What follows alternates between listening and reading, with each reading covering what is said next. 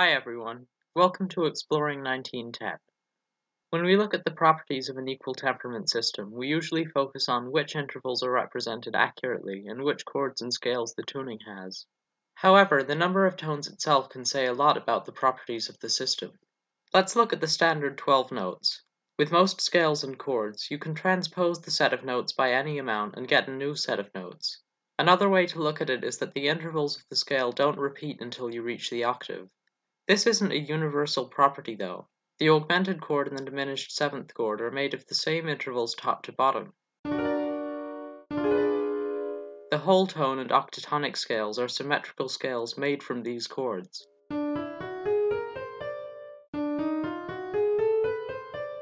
The ambiguity from these chords and scales can be useful when composing. What's not immediately obvious is that this ambiguity comes from the 12-tone system. Symmetrical three-note and four-note chords are only possible in 12-tet because 12 is divisible by 3 and 4. Those structures are specifically enabled by the tuning system. So what happens in 19-tet?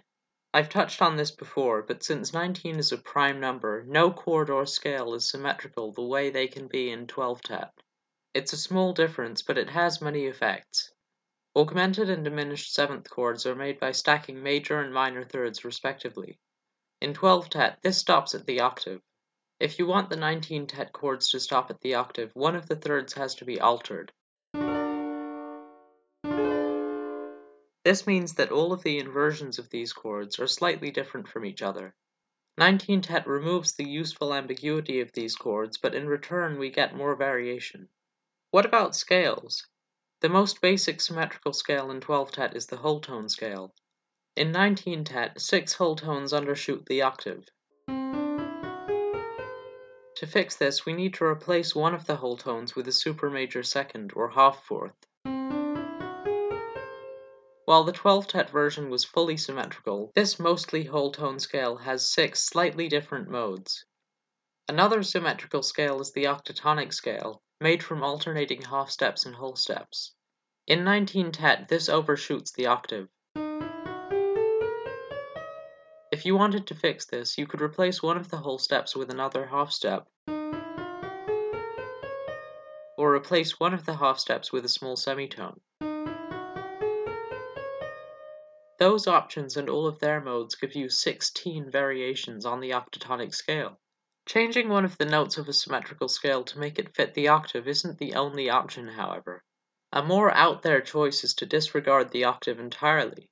This leaves the scale symmetrical, but introduces a very strange property.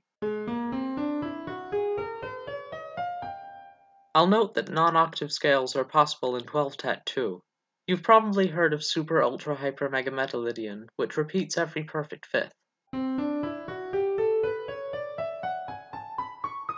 But in 19-tet, they can arise in different ways. Even if you're not writing in a non-octave scale, octaves can get displaced. One situation where that can happen is when writing a cyclical chord progression. A major third cycle, such as in the Coltrane changes, works by starting on a major chord, going to the dominant chord a minor third above, then resolving down a fifth to another major chord. This leaves you a major third below where you started. You can then chain this movement, cycling through three tonics major thirds apart. You've probably guessed what happens in 19-tet. If you put this progression in that system, it doesn't repeat after three tonics. It will cycle through all 19 of them before it repeats.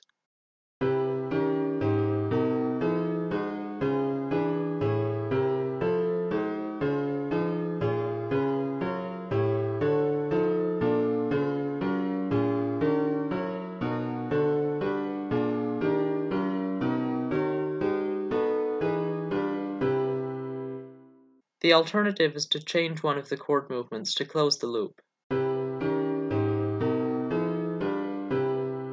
Another interesting progression I found is this one, which moves down a half step, then down a whole step, and then repeats. The bass notes walk down an octatonic scale.